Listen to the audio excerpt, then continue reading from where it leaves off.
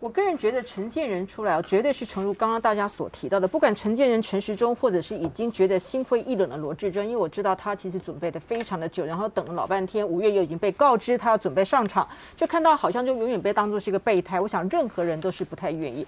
那陈时中为什么还迟迟没有办法？因为就目前的很多的民调，其实陈时中在整个防疫的过程当中，你去问台北的市民，他对台北市是不不会是特别好的。所以在在这个过程当中，其实他已经失去了一个很大的一个先机。不是特别好，他特别是真的是特别坏。对，好，我用措辞要比较温柔一点。对，所以台北市已经完全看出来，然后从民调当中也完全显现出来，他已经完全没有任何的一个光环。所以陈时中为什么一直等不到立刻来征召他，也是因为民进党他太会选举，他已经透过很多的民调数据来看。我只是比较感慨的就是，这么多的人选排来排去是这几个人，然后呢，永远不是。找到说谁最适合站新北，谁最最适合站台北，他们是要考虑到二零二四整个总统的大布局，特别是在后小英时代，最能够巩固小英他的一个领导的权威，而且他还能够持续在总统的提名当中，还能够让小英继续。他已经没有办法在台面，可是他后面的延续性、影响度还是要由小英来掌控，所以这就是我说很感慨的地方。那个都不是用人选来看是哪一个，而是这个人选背后所代表的利益跟这个执政当局他们所要的彼此能够契合，很能够延续他们的政权，这才是他们考虑的一个重点。不过无论如何，你看出这样的人选，我觉得陈建仁为什么会搬出来？我说实在，民进党真的还是要好好来思考，把陈建仁如果是如万明所说的。没有一个人会愿意让自己去打这样的一个选战，然后这个得票数完全没有办法跟侯友来做。这不管是对陈建仁未来来说，那都是生涯上面一个，我觉得还是一个蛮大的一个污点了。所以我想陈建仁不敢举头答应的缘故，可能还是有这样的考量。最重要就是陈建仁突然之间加入民进党，这个很奇怪。啊，如果你都不想选举，你干嘛呢？对不对？那那就不外说。这个目标当然替总统选举布局了，那过程中到底会怎么样？那这个逆风的乌鸦哈，他常常写的东西蛮有他的独特的观点。他说陈建仁之所以不想去，因为陈建仁现在中原担任特聘研究员，一个月薪水四五十万，很高了，嗯，而且呢是没有期限的，可以一直干下去，对，一直干下去。哈，为了那对，如果你当新北市或台北市的市长。只有十九万，市场那么低啊？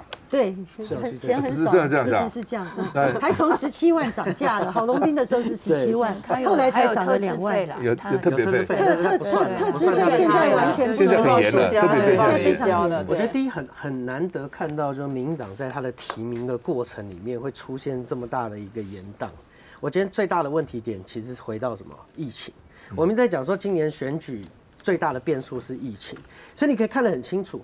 我看从陈世忠最近的一些动作，你可以很明确的看到，其实陈世忠肯从去年他就决定他要参选了，所以民进党在管理面上出现了一个很奇怪的一个偏差，就是蔡英文自始至终整个民党就是设定陈世忠一定要去选台北，可是这里面出现了唯一一个变数，这个变数是什么？就是疫情，整个民进党从来没有料到，就是说台北市跟双北跟中华民国居然会在大概三四月的时候，整个疫情大爆发。